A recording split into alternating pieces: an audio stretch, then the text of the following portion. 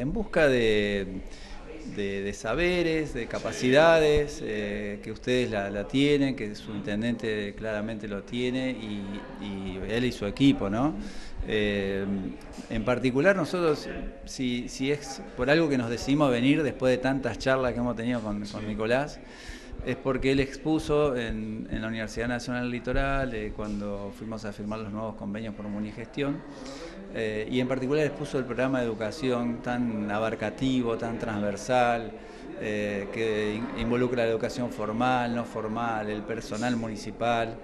nos pareció sumamente innovador y digamos que eso fue el gran disparador. Después, eh, desde hace tiempo venimos hablando con Nico también por, por el plan de vivienda, que consideramos muy interesante, eh, y él también hizo mención a un relevamiento de actividades económicas que hizo junto a la UNL. Quizás esas fueron las tres cuestiones por ejemplo, bueno, tenemos que ir ya y dejar de dilatar esto.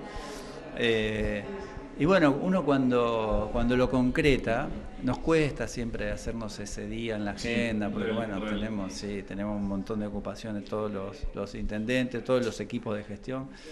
Pero la verdad que cuando este, llegamos acá, eh, lo primero que uno le nace, ¿cómo no lo hicimos antes? ¿Viste? Son esas cosas que uno dice, ¿cómo no lo hicimos antes? Y ya estuvimos una charla profunda con Nicolás, nos entrega el plan de gestión, me parece muy bien logrado. Eh, y bueno, ya nos disparó un montón de ideas y nos falta todavía recorrer algunas áreas, eh, pero estamos muy, muy interesados y a su vez muy motivados y, creyendo eh, mucho en este intercambio, que, por ahí la pandemia también nos enseñó lo, valioso que es, la posibilidad de encontrarse, de intercambiar. Sabemos que estuvo el intendente de San Vicente la semana pasada y, e hicimos todo lo posible para coincidir pero no, no fue posible, así que eh, nos repartimos un poco, también bueno, un poco de, información eh, para ustedes en una semana y en la otra. Sí, pues, además nos llamamos todos igual, así que era un lío. Sí.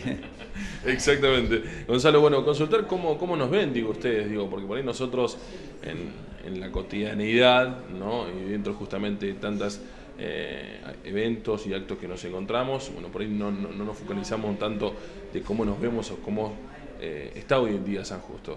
¿Cómo lo ves, Chales en la visita? Sí, te, entiendo y a veces a nosotros nos pasa también, ¿no? Eh, vienen otros de afuera a decirnos lo que realmente somos. Eh, ustedes son una comunidad, primero desde mi experiencia, por, las, veces que he estado acá, digamos que son muy buenos anfitriones, muy cordiales, este, tengo muchas personas conocidas y eso me, hace sentir afecto por, por, ustedes, por toda la comunidad. Después que uno eh, tiene el concepto de que son una, comunidad muy productiva, muy pujante, eh, y administraciones locales eh, también, innovadoras, potentes, este, con ideas muy claras. Eh, y hemos, eh, ya te digo, hace poco que, estamos acá, pero ya hemos observado cuestiones, que uno tiene el ojo medio, medio fino ya para eso. Vimos las bicisendas, vimos que están eh, pintando las líneas en el estacionamiento, se ve también hasta ese detalle, están haciendo una vereda central en la plaza. Hasta, hasta en esos detalles veo que, hay una, un hacer permanente y una planificación admirable, ¿no?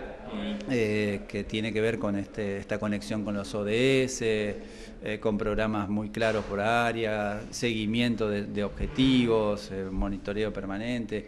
Eso me parece que son algunas de las, de las cosas que nosotros tenemos que imitar. ¿no?